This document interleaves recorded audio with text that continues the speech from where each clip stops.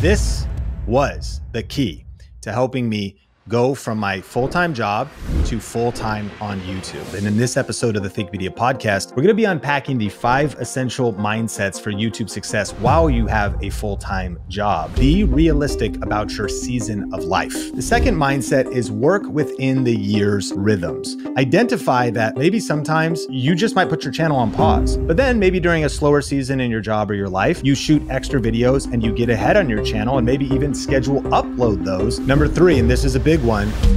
Here's the truth about YouTube videos. They can be as simple or as complex as you make them. When you're in the full time job season trying to grow your YouTube channel, keep it simple.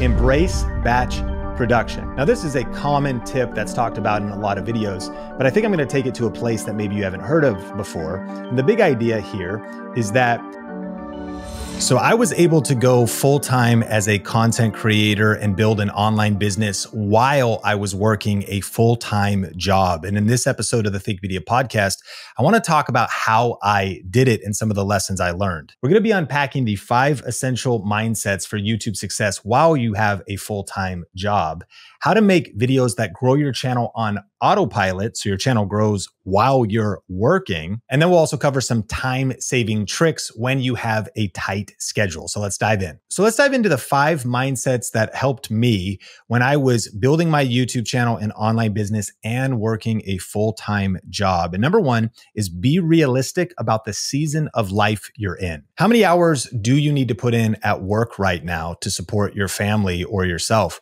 Do you have any kids or dependents? What are other responsibilities like school that you can't really change in regards to right now in terms of how many hours a week those things are going to take? And how much time can you carve out to work on your side hustle? Getting clear on this and giving yourself grace in this area is important because all of our life circumstances are different. When you have kids and you're a parent, it's a whole different thing than when you are single with no kids or when you're just a couple with no kids, right? You can relate. You know, and when I think about back when I got serious about YouTube around 2010, I was waiting tables at a place called Red Robin, probably 10, 20 hours a week. And then with the rest of my work hours, I was shooting wedding videos and videos for small businesses to pay the bills my wife was managing our checkbook and a lot of the administrative aspects of our life and our marriage. And we were trying to build up our side hustle, but she was also working multiple jobs and helping us pay the bills. Now, we didn't have kids, but it was tough. There was a lot to juggle. So we had to be realistic that maybe some weeks I didn't work on my YouTube channel. Other weeks I could work a little bit more on my YouTube channel. I think the important mindset here is giving yourself grace and then identifying the challenges, but also the opportunities in your schedule. And we'll talk about some practical tips in part two. The second mindset is work within the year's rhythms. So, in every job, career, season of life, there's going to be rhythms. Like if you're a teacher, you're probably going to be maybe off during the summer, unless you do summer classes. So, you're going to have a little bit more time. When I was working full time at a church as a director of communications, I knew that Easter is like the Super Bowl for church. So leading up to Easter, I didn't have a, little, a lot of extra time based on my responsibilities. Also, around the holidays, there was a lot going on. Now, for me, doing tech reviews and affiliate marketing and my main Think Media channel, I still carved out a lot of time around the holidays because I realized how strategic that was for my channel. But nevertheless, you got to be realistic about the rhythms of the year. But here's the opportunity identify that maybe sometimes you just might put your channel on pause. I know there's a pressure to post once a week or be consistent, and that's great if you could do it. But then maybe during a slower season in your job or your life, you shoot extra videos and you get ahead on your channel and maybe even schedule upload those because you're doing something like batch producing. Number three, and this is a big one, prepare for the necessary trade offs. So I feel like some of the things I'm about to say could be put on like a motivational poster that's inside of a CrossFit gym. But the truth is, these things are true. Success demands dedication. No pain, no gain. There's a reality to the hustle.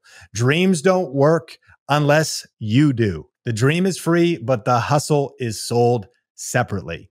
The truth is, there is no success without sacrifice, and there's going to be necessary trade offs. It's an important mindset. And so I know for me, I gave up a lot of leisure. I also was deeply passionate about my YouTube channel and deeply focused on my future dreams.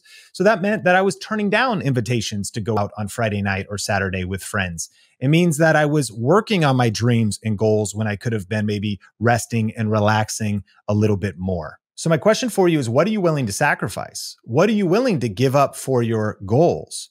Everything worthwhile in life is uphill. And the law of sacrifice says you got to give up to go up. And so hopefully you sacrifice things like leisure or entertainment or maybe maybe some social life for a season and different things like that. And hopefully you avoid sacrificing the things that matter most like your health and like your core family like your spouse and the your children like these very important things. I'm not saying sacrifice those but you know, if I get a little bit real with you, when I think back to uploading my first Think Media video 14 years ago, I knew there was going to be trade offs, but I'll admit I pushed things to the extreme. My health paid a price, my wife paid a price. And I think that's a tension to be managed in the sense of any entrepreneur couple is going to know that there's going to be a price to pay and there's going to be sacrifice. I think where I could have done better is probably in communication maybe how fast we were going, maybe pacing ourselves a little bit more, and especially on the health side of things. It was so much pressure to work after hours when I had lower energy and I'd already worked so hard at my day job to also work on my side hustle. What it meant I wasn't in the gym or working out or necessarily taking care of my health like I should. Now, I will admit I was convinced of this truth that if you will sacrifice for a few years, like most people are not willing to, you can benefit for the following decades and even generations, like most people won't be able to. You will receive benefits of planting seeds of sacrifice. So thank God that now at 40 years old, I'm actually finding a ton of momentum in my health that our marriage is been through ups and downs and lots of rough patches and marriage counseling and therapy that may have happened anyways despite of work and youtube of course of all other issues and you can't even imagine being married to me. What a nightmare right? You know? And so different challenges that you might have as a couple. So i think the two big takeaways are success is going to require sacrifice and necessary trade-offs but be wise be cautious and pace yourself and learn from some of my mistakes. Number four is choose a topic that ignites your after work fire. So I think this is so key.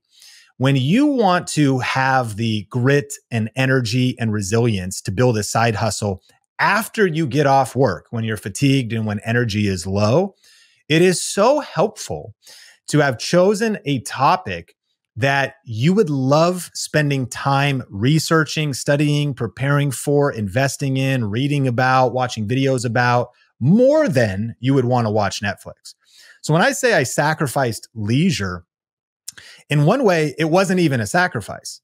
I didn't want to just go out and just drink beers and play darts with the homies. I didn't want to do other things that maybe would have been appealing to others. It's about self awareness. I love YouTube and marketing and online business and studying it and tech and cameras. And so I had really built a YouTube channel around my passion. So if you already love spending time on this, learning about it, discussing it, that's going to be incredibly helpful, I think, for succeeding on YouTube as a side hustle. So, as a reminder, in part two, we're going to be talking about time saving tricks for YouTube success on a tight schedule. But let's hit number five, which is keep your eye on the prize and visualize your success. Building a successful YouTube channel takes patience, it takes time. So, you want to stay focused on the long game. I'm reminded of actually a Bible verse that says, Do not grow weary in doing good, for at the proper time you will reap a harvest if you don't give up. There's something about being patient, there's something about planting seeds and knowing that the mindset of a farmer is that you're going to plant seeds today and you're going to water tomorrow and the next day and the next day to maybe not see growth for weeks or even months. And then eventually you just see that baby leaf pop up, that baby seed spring a little bit and not even be fully mature yet. That's when you get that first one out of 10 video or that first a thousand viewed video, or you get that first dollar you earn or your channel gets monetized, you're like, hooray, I'm monetized. I'm making like $7 a month, you know, like it's, it's small, but the mindset here is keep your eye on the prize. When I was building YouTube on the side and trying to stay motivated after my day job, I had to keep the marathon mindset. I had to be committed to small wins and committed to getting to the finish line. So we've been talking about mindset, but now let's get into some super practical time saving tips when you have a tight schedule. Number one, focus on ranking videos and search based content. This was the key to helping me go from my full time job to full time on YouTube. So, what's a ranked video?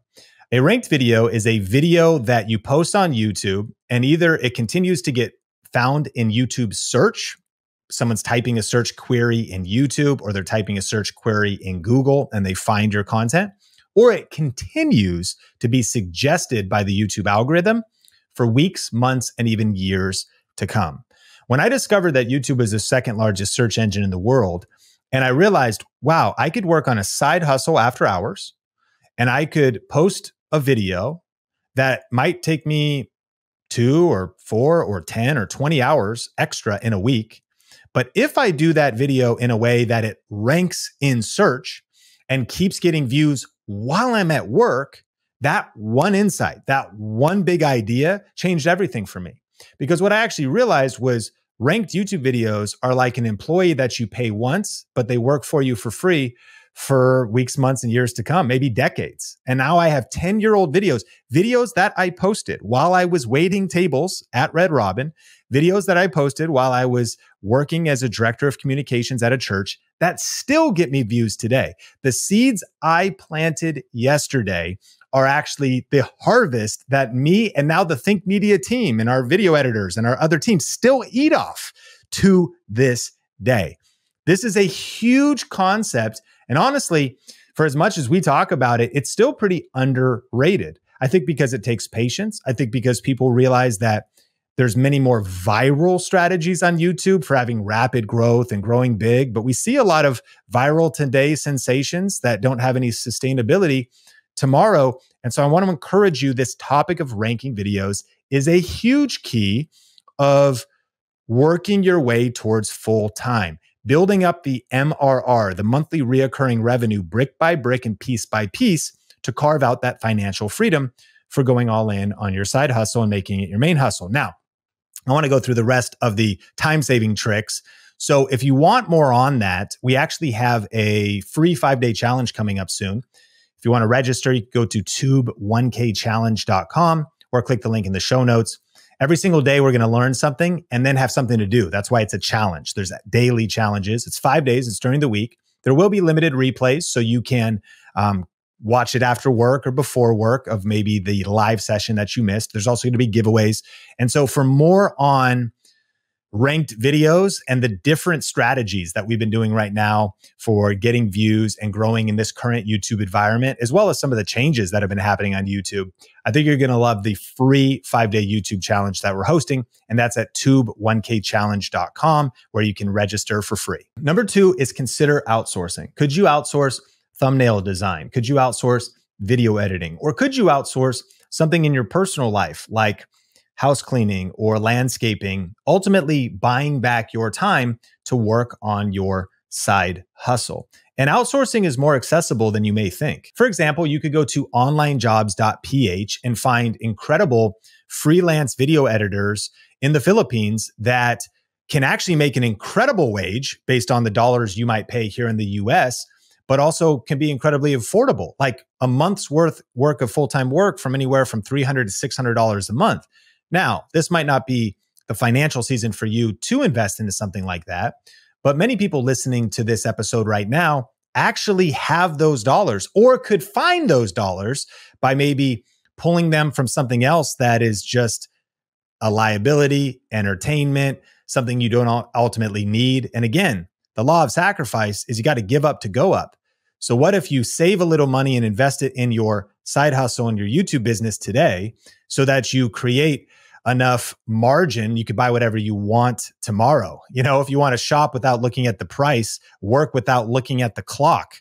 And if you want to be even smarter, delegate and outsource some things, and perhaps delegating the technical aspects of YouTube. You want to do those yourself. Well, if you hire a house cleaner and you normally would do that, you may have just bought back three hours. And during those three hours, you could research, shoot, record, and possibly edit and upload a video if you kept it simple. So consider outsourcing. Number three is simplify your content. Here's the truth about YouTube videos they can be as simple or as complex as you make them. They could be a simple talking head video with no edits, or there could be tons of editing with B roll and sound effects and extra clips. They could be a travel video that takes you across state lines with drone footage and GoPro footage and lots of different dynamic shots all woven together. They could be highly complex multi angle shoots. There's such a wide variety of how complex the videos you're making are. But here's what I want to challenge you is that when you're in the full time job season trying to grow your YouTube channel, keep it simple. Complexity is the enemy of execution. So when you're journaling and you write down 10 or 20 or 30 ideas, after you've got your video ideas, ask yourself the next this next question. Which of these video ideas have the potential to get the most amount of views? Like maybe the most broad appeal topic that's still on brand for you. But then also, which of these would be easiest and most practical for me to create. You might be like, if I climb to the top of Mount Everest and then declare some motivational statements, that would be a great video. It might go viral. Sure, but you'd have to climb to the top of Mount Everest. Conversely, if I do a talking head video about different destinations people could travel to, and I use other footage, maybe that's fair use or that stock footage, I don't even have to leave the house and I could get a video done. There's such a wide range of video production complexity. When you're in the side hustle season, keep it simple. Number four, embrace batch production. Now, this is a common tip that's talked about in a lot of videos, but I think I'm going to take it to a place that maybe you haven't heard of before. And the big idea here is that if you want to get ahead on your YouTube channel in the side hustle season, consider blocking out a Saturday morning and shooting four videos all in one batch and not just one video at a time.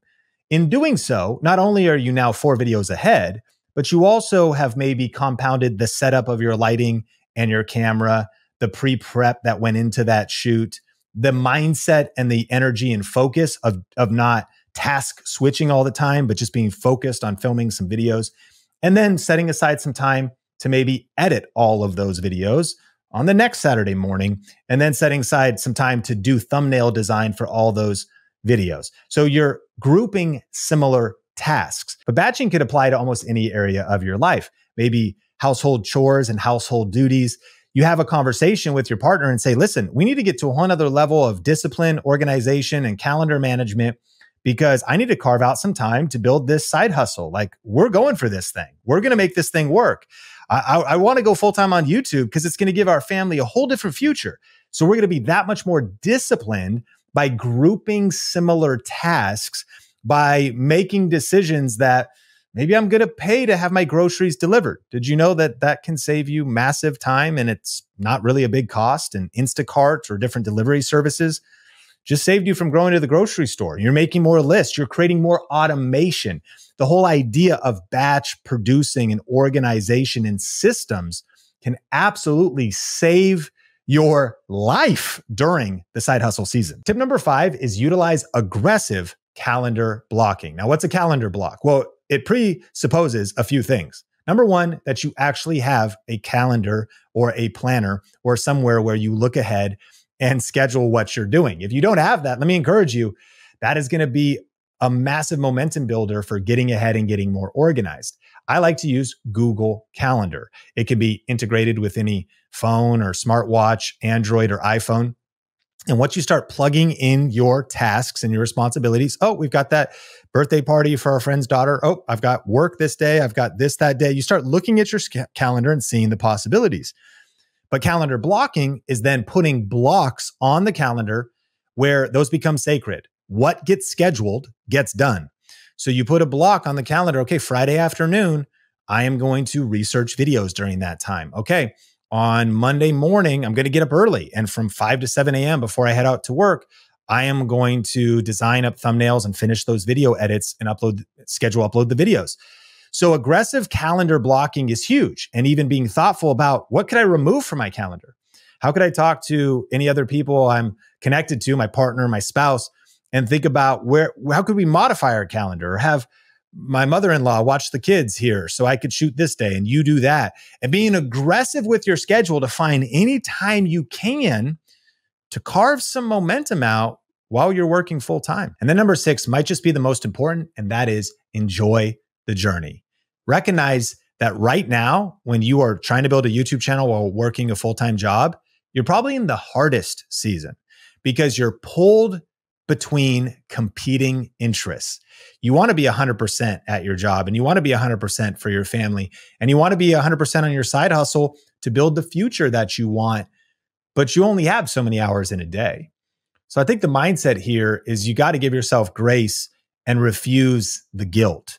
If you didn't hear part one in this series, check it out in our library of podcasts or videos where I really go into some really resolutions that content creators need to make and really the different struggles of the side hustle season. I think that'll be therapy for your soul. But the big idea here is that have joy on the journey. Embrace the suck, embrace the challenge, embrace the pain, embrace the ups and the highs and the lows, embrace the one out of tens and embrace the 10 out of tens. Like it's really also not about the destination. And you probably have heard a lot of people that reach the quote unquote pinnacle of success. Of course, they might say, ah, the silver play button wasn't everything I thought it was cracked up to be. And you're like, easy for you to say, but it's kind of true. Sometimes you hit a target in your goals, and maybe you can relate to this, where you're like, man, you know, I thought it would feel different. Well, let me encourage you this have joy now, have happiness now, enjoy the journey now, celebrate the, the every season.